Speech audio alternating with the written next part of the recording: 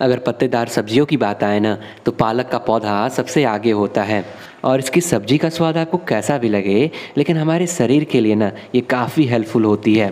पालक को स्पिनच के नाम से जानते हैं, लेकिन थोड़ा रुको, जो पौधा भी देख रहे हो ना, इसे क्लाइंबिंग स्पिनच के नाम से जानते हैं, या फिर मालाबार स्पिनच के नाम से जानते हैं।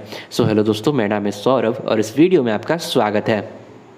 इसे आम भाषा में पोई या फिर पोई साग के नाम से जानते हैं। इस पौधे में लत्ती बनती है, पौधे के पत्तों की सब्ज़ियाँ बनाई जाती है और इसके अलावे इनके पत्तों का दवाइयों के रूप में भी इस्तेमाल किया जाता है। और अगर और अच्छे से कहें तो ये लत्ती वाले साग हैं। इसे मैंने बीज से उगाया है और इसे उगाए आज करीबन छः महीने हो चुके हैं।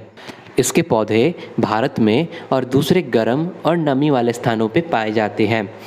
हालाँकि पौधा सदाबहार है, लेकिन फिर भी गर्मियों में अच्छी मात्रा में गर्मी और नमी मिलने के कारण गर्मियों में पौधा काफ़ी अच्छे से ग्रोथ करता है। इसके पौधे बीज से और कटिंग से आप आसानी से लगा सकते हैं। आमतौर पे इसकी दो वैरायटी काफ़ी कॉमन है, पहला बसेला अल्बा और दूसरा बी रुब्रा।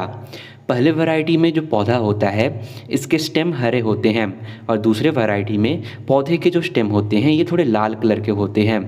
दोनों में बस रंग का फ़र्क है। बाकी सभी चीज़ें आपको कॉमन मिलेगी। तो दोस्तों, फ़िलहाल मैं यहाँ पर इन्हें बीज से ग्रो करने वाला हूँ। तो इन्हें बीज से उगाने के लिए आप इनके बीज अपने लोकल मार्केट से या फिर ऑनलाइन मार्केट में भी ख़रीद सकते हैं। मैंने इसके बीज उगाओ डॉट कॉम से ख़रीदे हैं। यह पैकेट मुझे पचासी रुपये का पड़ा। आप चाहें तो आप अपने घर पर जो पोई के प्लांट होंगे, उसमें से भी बीज निकाल कर उसे ग्रो कर सकते हैं। इसके बीज साल भर लगाए जाते हैं, लेकिन अगर आप पौधे लगाने में नए हैं, आपसे बीज अच्छे से नहीं उगते हैं तो आप केवल गर्मियों के समय ही इसकी सीडलिंग करें, वरना आप साल भर कभी भी इसके बीज लगा सकते हैं। इसके बीज आप दो तरीके से लगा सकते हैं।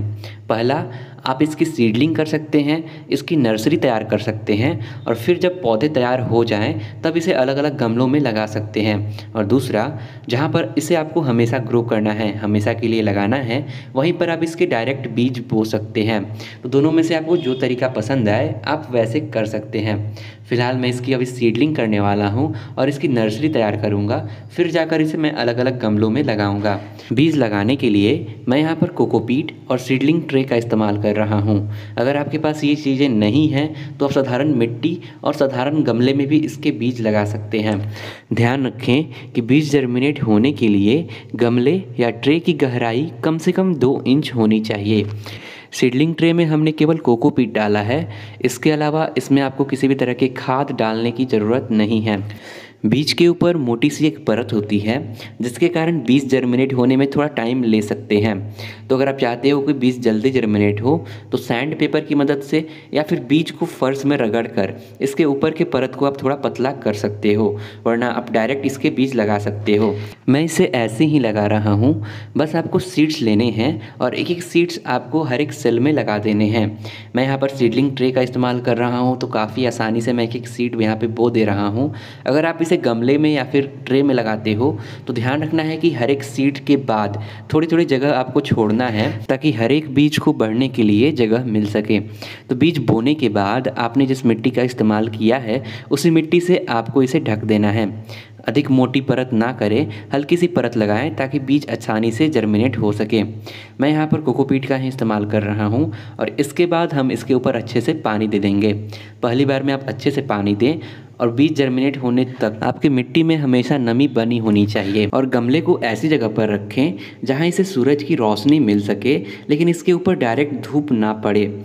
तो कुछ ही दिनों में आपके सीड्स जर्मिनेट होना स्टार्ट हो जाएँगे। उसके बाद आप आगे का काम कर सकते हैं।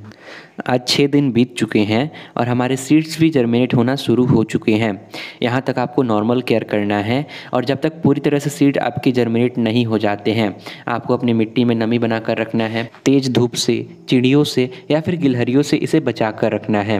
तो बस काफ़ी आसानी से आप भी अपने सीड्स को जर्मिनेट कर पाओगे।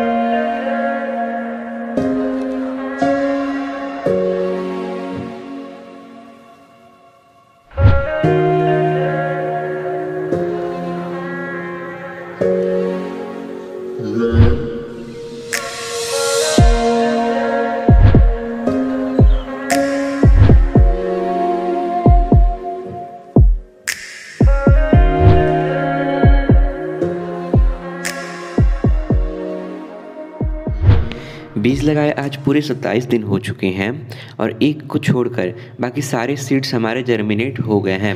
इस टाइम पे आपको अपने पौधों को धूप में रखना है और मिट्टी में आपको नमी बना कर रखनी है। आमतौर पे बीज उगने के बाद हम इंतज़ार करते हैं कि पौधे में तीन से चार पत्ते आ जाएँ, तब हम उन्हें ट्रांसप्लांट करेंगे। लेकिन इस पौधे में, जब पौधे में दो पत्ते आ जाएँ, तभी आप इन्हें ट्रांसप्लांट कर दें। ट्रांसप्लांट करने से पहले आप अपने गमले में या फिर ट्रे में अच्छे से पानी देते हैं। जब मिट्टी अच्छे से फूल जाए, तब जाकर आप अपने पौधों को जड़ों के साथ उसमें से निकाल लें। मैंने अपने सीडलिंग ट्रे में 20 मिनट पहले ही इसमें अच्छे से पानी दे दिया था और देखिए, पौधों की जड़ों के साथ ये काफ़ी अच्छे से बाहर आ चुका है। इसके पौधे सदाबहार होते हैं। साल भर इसके पौधे बढ़ते हैं और ग्रोथ करते हैं। तो ऐसे में जब भी आप इन्हें किसी गमले में लगाएँ, ध्यान रखें कि इनके लिए कम से कम आप आठ इंच का गमला ज़रूर रखें। गमले में अच्छे से छेद बना होना चाहिए, नहीं तो इस पौधे के साथ खास करके पानी का काफ़ी अधिक प्रॉब्लम होता है। अगर पौधे में काफ़ी अधिक पानी लग जाता है तो पौधा नीचे से सड़ने भी लगता है। तो गमले में अच्छे से छेद होना चाहिए ताकि पानी इसमें से अच्छे से ड्रेन हो सके। मिट्टी में आपको साधारण मिट्टी लेनी है, जिसमें आपको थोड़ी सी गोबर की खाद या फिर वर्मी कंपोस्ट मिक्स कर लेनी है।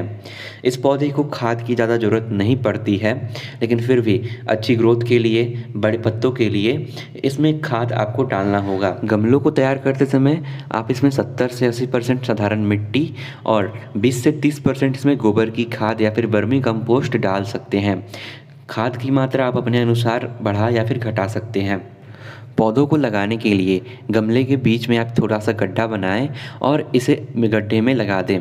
कोशिश करें कि पौधे को गमले के बीचों बीच लगाएँ। पौधे के पत्ते काफ़ी बड़े हो जाते हैं और ऐसे में अगर आप इसे गमलों के बीच में लगाते हैं तो पौधा भी बैलेंस रहेगा और आपका पौधा भी अच्छे से ग्रोथ करेगा। पौधे लगाने के बाद आपको इसमें अच्छे से पानी देना है। पहली बार में आप इसमें अच्छे से पानी दें और जब ट्रांसप्लांट आप करें, कोशिश करें कि आप शाम के समय ही पौधे को ट्रांसप्लांट करें तो बेहतर होगा। इसमें अच्छे से पानी देने के बाद आप अपने पौधे को छाँव में रखें। कुछ ही दिनों में आपके पौधे में नई ग्रोथ आ जाएगी।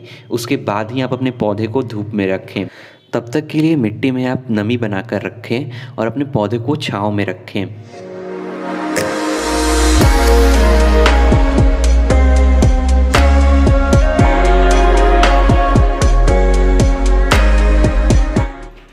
दोस्त आज पौधे को लगाए लगभग पाँच महीने हो गए हैं और हमारे पौधे काफ़ी अच्छे से ग्रोथ कर रहे हैं और एक बड़े पौधे का आकार ले चुके हैं। पौधे में अब वाइन बनने लगे हैं। अब ज़रूरी है कि हम अपने पौधे को किसी रस्सी की मदद से या फिर किसी लकड़ी की मदद से इसे सहारा दें, ताकि हमारा पौधा अच्छे से क्लाइंब कर सके और अपने ब्रांचेस को बढ़ा सके। पौधे को आप धूप में और पार्सल सेड में, दोनों जगहों पर काफ़ी आसानी से उगा सकते हैं। पार्सल सेड में उगाने से पौधे के पत्ते थोड़े बड़े होंगे, लेकिन ग्रोथ इसकी थोड़ी धीरे होगी। वहीं अगर आप इसे फुल सनलाइट में उगाते हैं तो पत्ते भी अच्छे साइज़ के होंगे और आपके पौधे भी तेज़ी से बढ़ेंगे। तो कोशिश करें कि आपके पौधे को ज़्यादा से ज़्यादा डायरेक्ट धूप मिल सके और अपने दूसरे पौधों के साथ रखें, ताकि इसे अच्छे से मॉइस्चर भी मिलता रहे। गर्मियों में पौधा काफ़ी अच्छे से ग्रोथ करेगा, लेकिन अगर आपके यहाँ काफ़ी तेज़ ठंडी पड़ती है, कुहासा रहता है तो पौधे थोड़े सूख सकते हैं। तो ऐसे में आप अपने पौधे को इंडोर रख सकते हैं या फिर सेड के नीचे रख सकते हैं। लेकिन कोशिश करें कि सर्दियों में भी इसे जितना ज़्यादा हो सके उतना धूप इसे मिल सके। पोई प्लांट के लिए पानी काफ़ी ज़्यादा ज़रूरी है। अगर आप अपने पौधे की मिट्टी को हमेशा सूखा रखते हैं तो आपके पौधे में जल्दी फूल आएँगे और जल्दी बीज बनने लगेंगे। ऐसे में आपके प्लांट की ग्रोथ थोड़ी रुक सकती है और इसके पत्ते भी थोड़े कड़वे हो सकते हैं। तो ऐसे में आपको क्या करना है कि इसकी मिट्टी में हल्की सी नमी बना कर रखें। गर्मियों में आप रोज़ाना पानी दे सकते हैं और अपने बगीचे में इसे दूसरे पौधों के साथ रखें ताकि इसके अगल बगल थोड़ा मॉइस्चर बना रहे। पौधे में आप 30 से 45 दिन के अंतराल पे एक बार गोबर की खाद या फिर वर्मी कंपोस्ट दे सकते हैं। बिना खाद के भी पौधा काफ़ी अच्छे से ग्रोथ करता है। खाद की मात्रा आप अपने गमले के अनुसार रख सकते हैं। पोई के पौधों में कीड़ों का भी खतरा थोड़ा अधिक होता है। इसके पत्ते और इसके स्टेम में काफ़ी अधिक रस होता है, जिसके कारण कीड़े काफ़ी ज़्यादा अट्रैक्ट होते हैं। तो इससे बचने के लिए आप नीम तेल का इस्तेमाल करें। नीम तेल के दो से तीन बार के इस्तेमाल से ही आपके सारे कीड़े लगभग ख़त्म हो जाएँगे। नीम तेल आप अपने लोकल बाज़ार से ख़रीद सकते हैं, या फिर मैं आपको डिस्क्रिप्शन में सभी चीज़ों का लिंक दे दूँगा, आप वहाँ से ये सभी चीज़ें परचेज़ कर सकते हैं। पौधे को बीज के अलावा आप कटिंग से भी आसानी से उगा सकते हैं। बस आपको इसकी डाली काटनी है और मिट्टी में लगा देनी है। काफ़ी जल्दी उसमें से भी जड़ें निकल आएँगी। पौधे को आप कई तरह से इस्तेमाल कर सकते हैं। आप चाहें तो आप इसकी सब्ज़ी बना सकते हैं, पकौड़े बना सकते हैं, या फिर इसके सलाद भी तैयार कर सकते हैं। या फिर हो सकता है कि आप इसे खाने के लिए इस्तेमाल ना करें। लेकिन फिर भी पौधा इतना हरा भरा है, इसके पत्ते इतने सेकुलेंट है कि पौधे को आप डेकोरेटिव प्लांट के रूप में लगा सकते हैं। अपने गार्डन में दूसरे क्लाइंबर्स के साथ, दूसरे क्रीपर्स के साथ आप इस पौधे को क्लाइंब करा सकते हैं और अपने गार्डन को डेकोरेट कर सकते हैं। पौधे को आप अपने खिड़कियों में, अपने छत में या फिर दूसरे पौधों के साथ इसे लगा सकते हैं। तो काफ़ी आसानी से आप भी अपने घर पर क्लाइंबिंग स्पिनच मालाबार स्पिनच को बीज से या फिर कटिंग से ग्रो कर सकते हैं। फ़िलहाल इस वीडियो में हमने जाना कि कैसे इसे हम बीज से उगा सकते हैं। अगली वीडियो में हम इसे कटिंग से उगाएँगे और आपके साथ शेयर करेंगे। तो फ़िलहाल इस वीडियो में इतना ही। मुझे उम्मीद है कि वीडियो आपके लिए हेल्पफुल रही होगी। वीडियो कैसा लगा नीचे कमेंट में ज़रूर बताएँ। और अगर आप चैनल पर नए हैं या फिर चैनल को सब्सक्राइब नहीं किया है तो चैनल को आप फ्री में सब्सक्राइब कर सकते हैं। नीचे रेड कलर के सब्सक्राइब बटन पर क्लिक करके। टिल देन स्टेट यून विथ फ्लोरा नर्चर।